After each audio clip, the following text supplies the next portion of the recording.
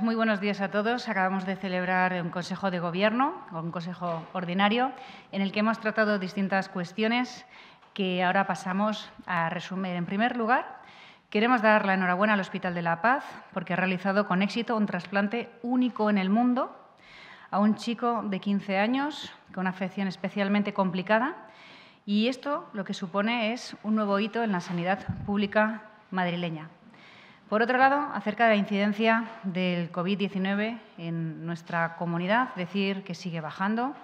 Actualmente es un 55% más bajo de lo que estaba en el pico máximo que alcanzamos entre la semana del 14 al 20 de septiembre, que también se han reducido un 95% el contagio en las zonas básicas de salud y también en 20 de los 21 distritos que hoy ya han visto reducidas, por tanto, la incidencia.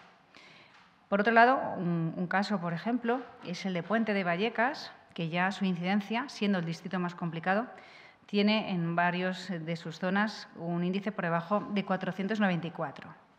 También ha bajado la hospitalización, la presión en los servicios de urgencia, un 40%, lo que nos lleva a concluir que este sistema de zonas básicas de salud está funcionando aunque evidentemente no estamos tranquilos, no estamos confiados y el Gobierno de la Comunidad de Madrid tiene que seguir adelantándose y poniendo nuevas medidas para frenar posibles olas y repuntes en nuestra región.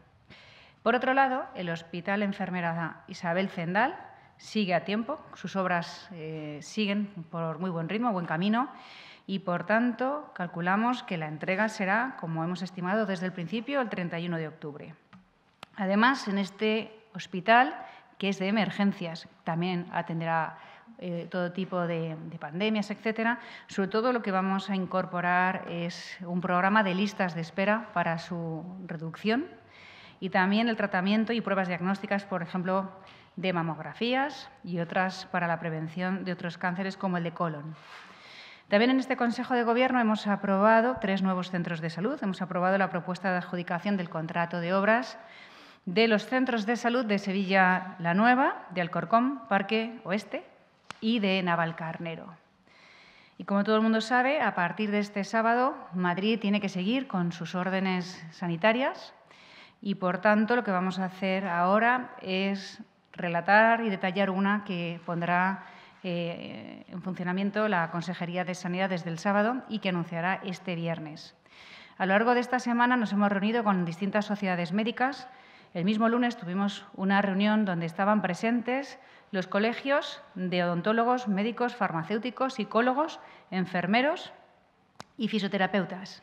Y en ello todos han coincidido en que es importante poner en marcha medidas quirúrgicas, medidas que no enfrenten a la salud con la economía, pero que vayan directamente a los focos de contagio donde ahora mismo se están produciendo. Y esto es así porque las propias sociedades médicas, los profesionales, nos trasladan que la economía también es salud y que, de hecho, se están produciendo un aumento, un aumento muy importante de depresiones y, por ejemplo, se está dejando de cuidar eh, la salud dental o, por ejemplo, los tratamientos en los fisioterapeutas. Es decir, que la economía y la salud van de la mano y que los propios profesionales médicos también nos lo dicen. Y es en lo que estamos ahora. Somos un gobierno sensato, moderado, liberal, que tiene que apostar por esas medidas quirúrgicas para no enfrentar a la economía con la salud, teniendo en cuenta que la vida y, por supuesto, la sanidad es lo primero y es en lo que estamos. Son nuestros objetivos. Como saben, Madrid ha puesto sobre la mesa un debate ahora acerca de posibles cierres de actividad por horas y esto es así porque tenemos detectado dónde se están produciendo los contagios. De hecho, ya se ha visto que el 28% del contagio en Madrid se está produciendo entre jóvenes de entre 15 y 29 años y, de hecho, su índice acumulado de contagios de 582, muy por encima de la media.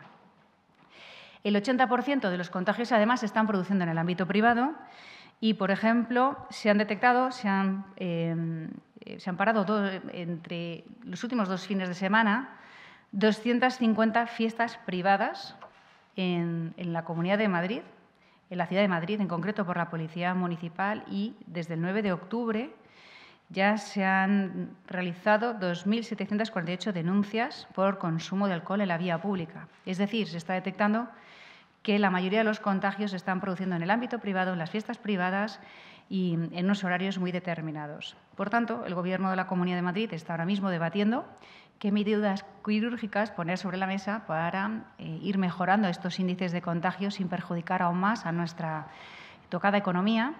Y lo que tenemos claro todos es que lo más importante es la salud, la vida, pero que tenemos que seguir conjugando todo esto para salir adelante.